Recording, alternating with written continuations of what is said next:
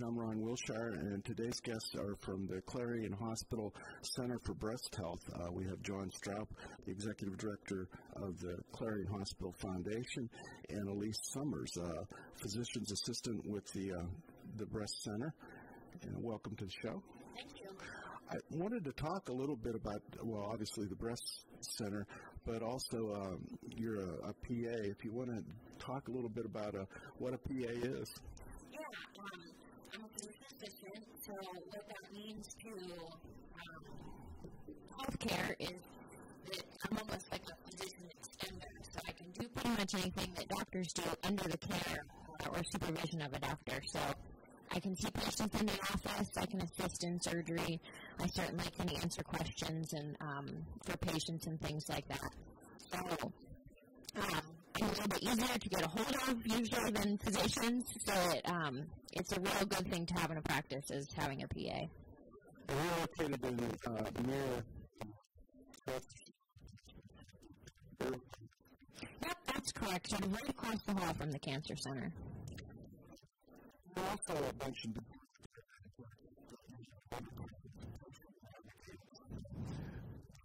Yeah,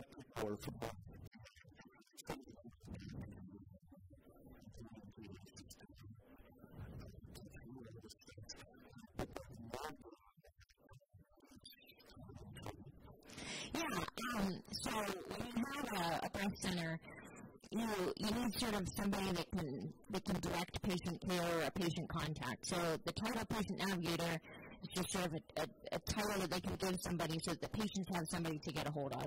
So um, what the patient will do is they can call the office and me as the patient navigator can tell them sort of where they need to go next. So in relation to cancer care, they can say, hey, is Elise around? I am not sure what to do next. So I can tell them that they need to have appointments and then, you know, need to have surgery and can answer questions about surgery, follow up appointments, things like that. So I'm sort of the patient contact so that, you know, to help them or navigate them through their care.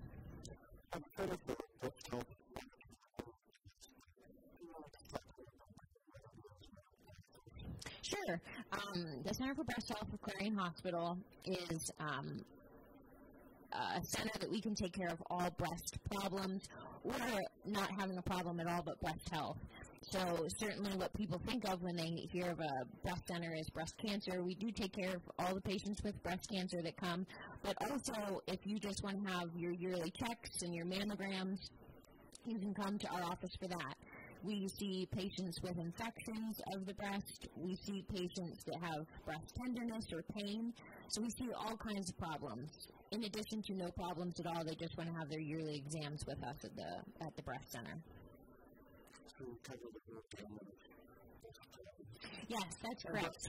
Yep. Yep. And in addition to seeing women, um, it's not strictly just for women. Men have breast problems, um, and we see and have seen several men with um, breast health issues, and they're welcome as well. What's the uh, most common complaint you receive at the, the breast center? I have a breast lump and I want some answers.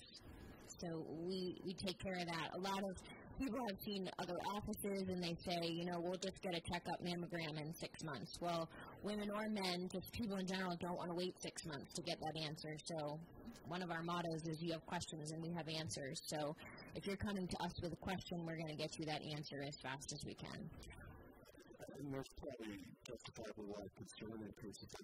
Do in addition to the physician's assistant, do you have to talk them through it and ease their fears? Oh, yeah. Yeah. Um, of course, care has changed over the years. Um, people get nervous about biopsies and things like that. Is it going to hurt? Is surgery going to hurt? Um, does the mammogram hurt? Things like that. You can call with questions. We'll walk you through each step things these days don't hurt as much as they used to. If they do hurt, it's just going to be a little pinch. Um, so myself and the rest of the staff will help walk patients through it and making sure that they're getting the care they need. Well, let's talk a little bit about the staff uh, uh, of the center. What there's yourself. Um, uh, there's a Dr. Green. Yep. Yep. So there's myself as a physician assistant. There's Dr. Green who's the physician that oversees it. Um, we have a secretary, Tracy, uh, nurse, Holly, and then a scheduler, um, Cindy. So together we sort of get patients in and out the door in the care that they need in a, in a timely fashion. I've, in previous conversations with the uh, cancer center there, uh, there was some talk about there's a lot a lot more incidents of cancer in the Clarion County area than than other places in Pennsylvania. Does that apply to uh, breast cancer too? Um, I mean, the only thing that we can really tell you is that we see a number of cases of breast cancer. Now, certainly, I could tell you that it looks like there's more, but that's because that's all I see every day. Not necessarily breast cancer, but breast problems. So, I haven't actually looked at statistics for other regions, but people will tell you that. Right. So it's some of it you, you never know where to separate the urban legend from the, yes, the facts. That's right. So since I see most of the cases um, of breast cancer um, or breast problems in, in Clarion County and the surrounding areas, that that's what it would look like to me. But certainly, I can't compare it to other counties. Um, do you find your job pretty rewarding? I do. Yeah. Um, a lot of people ask me, well, how do you like working with breast problems or, or breast cancer? And we can actually cure breast problems and, and breast cancer. Whereas if you have somebody who has high blood pressure, they may have high blood pressure for the rest of their life. So you're not necessarily curing the problem. So I find it very rewarding to, to help women and um, actually cure most of them of their problems, of their breast cancer and breast problems. What are the advantages of going to a place like Clarion as opposed to to other cancer centers in larger areas? Um, you're not just a number uh, at the breast center in Clarion. You know, we treat every patient like they're a family member because that's how I would want to be treated. You can talk to me about anything. You can talk to me about your family or your dog or your cat, and we're not just going to brush it off. We have time for everybody, and we make time for everybody. So that's where I would want to go and have care. We also, the care that you get here is going to be the same as far as new techniques and, and things like that. You're not getting any less care as far as the most up to date research and things like that. But in addition to getting the most up to date techniques, you get the you get the benefit of having a small sort of county, small town feel to the to the center. It probably does become more like family after a while. And uh, so that, that offers advantage. I know in talking with uh, people at the, the cancer center, uh, a lot of that family attitude and uh, availability of all the services here is also an advantage because you don't have to take the extra time out to to receive them. Yeah, you don't have to travel far to get your care. So, um, so overall, how do you think the cancer center, I mean the uh, Center for Breast Health, has been received in the, the Clarion area? I think it's um, been received real well in the Clarion area. People are excited that they don't have to travel to Pittsburgh or to Erie to get their care. Um, I, I think that we need to definitely get the word out. I think there's a lot of people in the Clarion area and surrounding areas that still don't know about it yet, and we should just want to get the word out so that people can um, make sure that they know there's a center closer to the area. Now, in terms of uh, activities that this uh, breast uh, center offers, are there any preventative or, or health type activities that, that you offer? Yeah, sure. Um, for breast cancer awareness, we're running these days called Pink Thursdays. Pink Thursdays are a day that you can come to the breast center without an appointment in the afternoon between 1.30 and 4. Um, you can have you can learn breast self breast exams, obtain cancer risk assessments, schedule a mammogram and breast exams. Specifically, this Thursday we're having um, uh, yoga taught by Barb from the YMCA. It's going to be a gentle yoga, which is soothing and slower paced yoga. That's going to be between 2 and 3 this Thursday, October 25th. Um, I just picking something off the off the floor here on uh, uh, you do offer a lot of information there too. Just if uh, if if anyone has concerns uh, that you know you don't have to make a doctor's appointment right away if, if someone has questions. Yep, yep. Um, we you can stop by the um, the office and, and we can get you the information that you need. If you don't have an appointment, you can feel free to stop by. Not sure that you'll be seen that day unless it's this Thursday, um, but we can certainly make an appointment and get you set up as soon as possible. Well, thank you. Uh, Ron Wilshire on Clarion Connection. We're talking with Elise Summers from the Clarion Hospital Center for Breast Health. We're going to take a commercial break right now, and we'll join you shortly.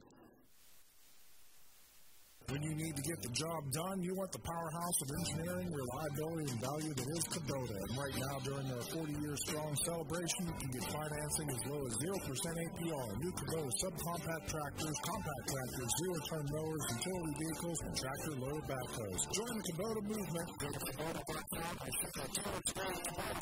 Strong serving the American dream. Terry W. WKL view their online showroom at t.wklequipment.com or call 797 1188. If you care about this election, if you have an opinion, if you want a voice, if you want to make a difference, if you want to vote, then show it. Show it.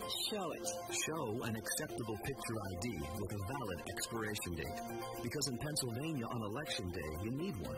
So whether it's a PennDOT issued ID, student ID, or passport, if you want to vote, you're going to have to show it. To learn more, call 1 877 VOTES PA or visit votespa.com. Sponsored by the PA Department of State.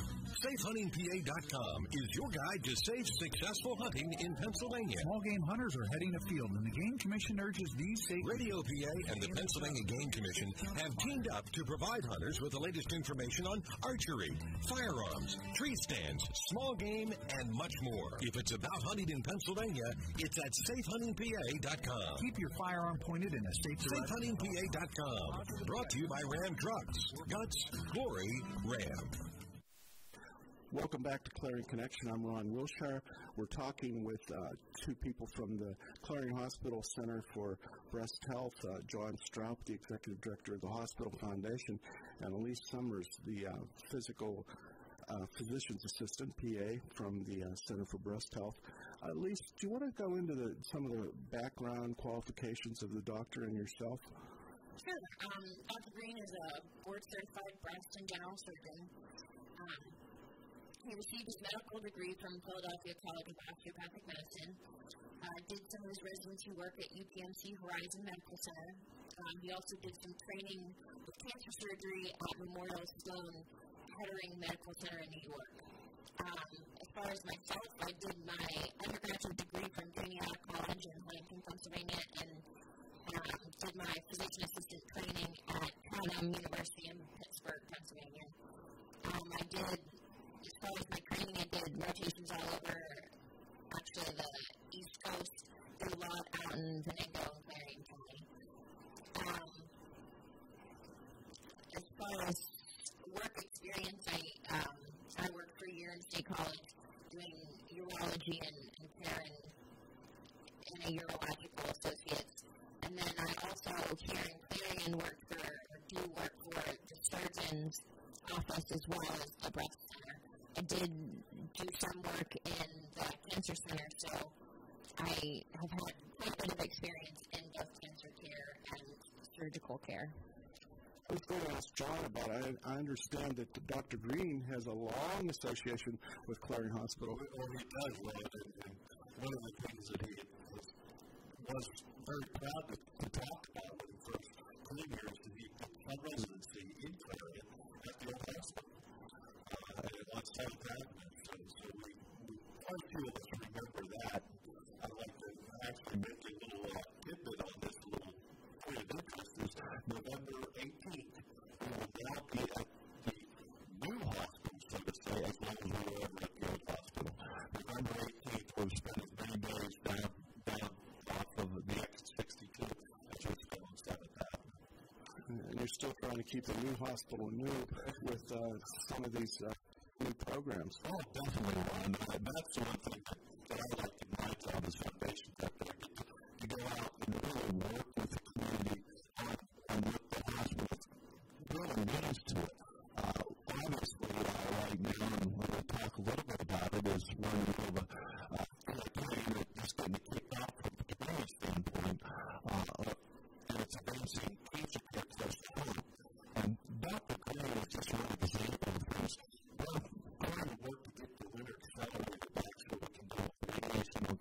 energy uh, back at the Clarion Hospital again.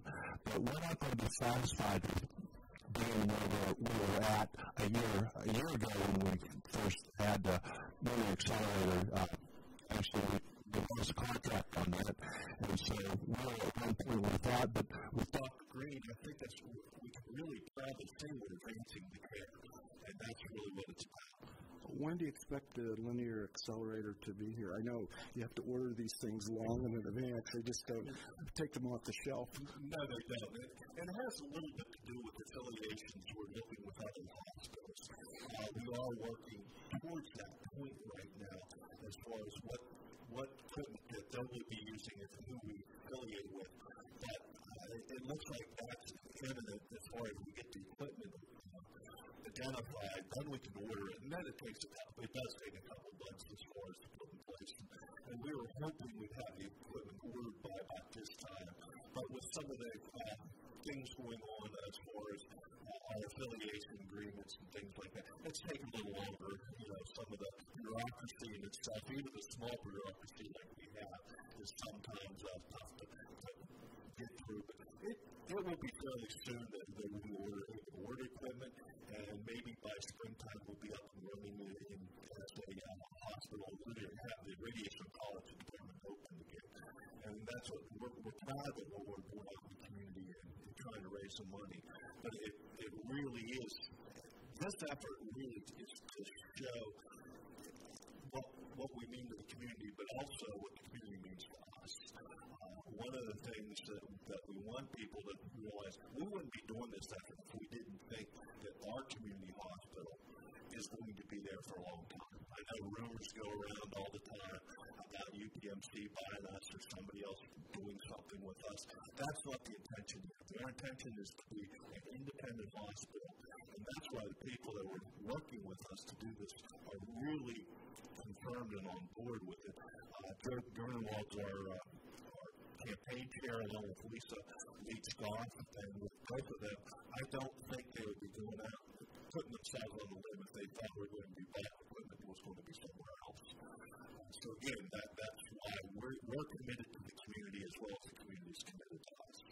And you're just in the pre- kind of preliminary or stages of the fund drive, but already it shows some promise. Oh yes, I mean we're real happy, real proud of what we've been able to do already uh, with over one million one hundred thousand dollars collected, uh, uh, pledges, not collected, I should say, but, but uh, pledges. We're, we're putting the final touches on some fairly big ones that we are counting us, uh, ourselves as at being at 1.1 in pledges. Uh, but, but those things alone show the commitment, and it's a $2.5 million campaign. So at this time, that's why we chose to go out to the community to see what we could do with it. Um, and I know with all these activities going on, you see these in the community. Um, Breast Cancer Awareness Month is a very good time to highlight it. But, but it's an ongoing. It's more than just about breast cancer, even though we're talking about the breast, the Center for Breast Health here today. But it is about all cancers and what we're doing. But, but it's a good time to highlight these things, activities. You know, the schools, the university is very good at, at helping us uh, highlight and fundraise also the local high schools we're looking at and what they've done is, is outstanding in, in what these kids have done. But it's going to be only a small part of what we're going to have to do out in the community. And that's why we, we chose to kind of kick it off at this time and, and go forth to the community. And that's one thing with a lot of these activities that they have uh, as far as these breast cancer uh, fundraisers or cancer fundraisers. Uh, a lot of it goes to the national, uh, you, you see about the national Susan Komen and stuff, but a lot of these are for us. Uh, they, they realize the importance of research, but a lot of the, the patients we have now can't wait for research. They need the healing and the treatments now. And that's really what we're about, is trying to get those treatments for your, for your community, your, your family, your neighbors, your friends. In addition to the uh, organized part of the campaign with uh, people getting requested to donate, there's been a lot of community support. I just before the show, you were talking about a, a Tupperware sale. That uh, so so the the fundraising and community community support is evolving in many different ways. Well, it does. Like I said, it, just it, the schools are doing a wonderful job. Individuals are doing a wonderful job. Even if somebody has an idea, I'm going to ask everybody for a dollar. You know, everyone's going to get, you know, you know they can afford a dollar. You know, things like not silly things. Very proud to do that because what goes on with this is everybody has story. Everybody knows somebody has been touched by cancer some ways. Uh, at a community uh, kickoff, a little bit we had with some people that were trying to rally the, the troops, so to say, a little army of, of campaign workers with us. That we sat around the one night with ten of us just talking, and everybody had a story, and, and we should have had broader Kleenexes with us because they're very touching. They're, they're very solid stories of what people did, and just sitting here thinking about them, I, I, I'm proud of the people what they've been able to do because if they're fighting through their, their sorrows or, or they're, they're proud to beat the cancer and they're able to do something and, and help help their community along with it. Well, there certainly is a lot of pink out there. Yeah, and, and Thursdays I wear pink. I try to be part of the Pink Thursdays. Well, and that's you know, you, I mean, you can joke about that, but, but it's mainly for awareness, isn't it? Just to, that you know, you keep it at least in the back of your mind. Yeah, that's exactly right, Ron. It's, it's keep keep in the forefront, and, and you see the NFL teams out there every Sunday now through October wearing the pink, and, and the university, even the football team wears the pink on their numbers and things, and, and the people just try to get that we're out there, we're out there to fight cancer and help save lives. Right, and so the, the color wants you to prompt to take the next step. So, so I encourage everybody on Thursdays to, to wear pink and that us your support to the hospital. Now, with, um, cancer and, and uh, breast cancer is certainly uh, a concern, but uh, you know some of the leading causes of of death are, are other diseases too, and uh, it's it's nice to have a community hospital that can address all of those other problems too. Yeah, I think that's really what it is about. You just that's the economic growth is, relies heavily on a good hospital, both from, from uh, business aspect, bonding, and things like that, but jobs, good jobs, and what we can do to help make people aware. But, but it is you want to be able to be close to home when you're here, and that's that's what it is. Uh, the treatments, yeah, some efficiencies can be bought with if you go to certain centers, but I think with when you're really in the, the act healing, you want to be close to home, close to your family and friends, and you don't you're already sick. You don't want to be putting the burden on that, and that's why we are fighting to, to do what we can to keep this hospital driving forward. It, it's one of the few profitable hospitals out in the community uh, field that we can show that, that yes, Clarion is very proud of what they've been able to do. Touched on one subject. How many employees does Clarion Hospital have? There, it's roughly, it fluctuates of course, but it's roughly around 550 with the whole system, the healthcare system, health, health services of Clarion and, and Clarion Development Corporation, all of them together. It's roughly about 550 employees. So very easily, you're the second largest employer in Clarion County. That's right. That's right. So that's why we're, we're, it's important to keep us going as well as us keeping the community going. So uh, they're in charge of keeping people's lives going, and we want to keep the life of the hospital going. That's right. We, we appreciate all the help on that that everybody gives us. Um, what are some of the other challenges facing uh, the hospital? Well, just well, definitely, as we pointed out, we, we are now almost to the point where down at the hospital is long uh, as we were at Seventh Avenue. The infrastructure problems after 29 years, you know, keeping that up and, and running uh, is a big challenge. But probably the biggest challenge is keeping doctors here. You know, we are a small community, and, and making sure that, that we have the right doctors to fit our mix of treatments, that, that we get those doctors in here, and they feel, especially the younger younger doctors, and we've talked about before, Ron, that they have all the infrastructure needed, including the broadband, so they can do more at home and, and, and feel more relaxed. Because if we're going to get doctors in here, it's a unique experience. They want to be able to uh, live a, a, uh, the rural life. That means being away, you know, 10 acres or whatever, some land outside of town. If they wanted to live in a suburb, they probably could do that and make more money down in, in the Pittsburgh area. But here, they want a different lifestyle. So we want to be, be able to provide that for these doctors that want something else. I would imagine the, the management style is quite a bit different at a mega hospital conglomerate than it is at Clarion Hospital. Well, that's right. I mean, because you have efficiencies of some of the bigger hospitals. We don't always have here. So, so that's we try to uh, do some affiliations where we can, where it makes sense uh, with some other hospitals. And then I'd say affiliations instead of any buyouts or anything. Because we still want to have those treatments as many, much as we can here. But some specialties make it a little tougher. But we want to be able to uh, build our own efficiencies in there, and, and but those challenges can be overcome, and we will. I was kind of excited uh, to hear about the, a possible affiliation from the hospital with com- another community project, uh, a new Clarion County YMCA.